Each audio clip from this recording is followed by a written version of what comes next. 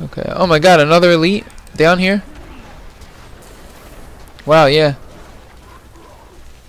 Getting a lot of elite packs. This is cool. Very nice. Very nice.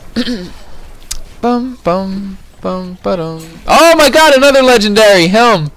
Holy crap, three legendaries this run. Very cool. Well, a legendary plan and two legendaries. Oh my god. Oh, this is that Abraham Lincoln helm. What's it called? The uh uh what the heck is it called? Well, we'll find out in a second. And what's really cool is I'm unlocking all of these legendaries for Transmog once Reaper of Souls comes out. Here we are. The uh, Deathseer's Cowl, which actually is an upgrade. Uh, if I put my my Amethyst in here, this is actually, I think, an upgrade. It is an upgrade. Yeah. Check it out. Wow. I just got an upgrade. The Deathseer's Cowl. I don't use Frost Hydra anyway, so... And I get even more experience from this. Very nice. I'm actually going to, uh... Where are they? I'm going to run back to town really quick so that I can upgrade, so I could uh, put an amethyst in this and and start wearing it. Very cool. I can't believe that. Alright, let me just mark that down so I can make a highlight of it. Very awesome.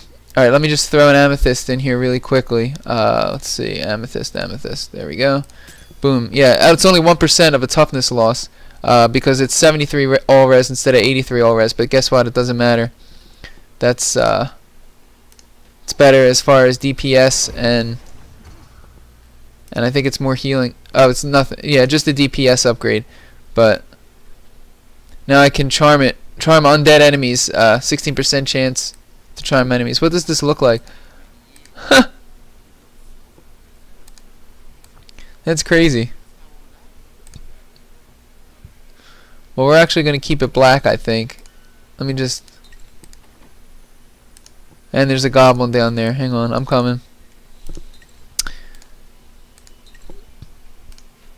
Alright, let's toss that in, and here we go.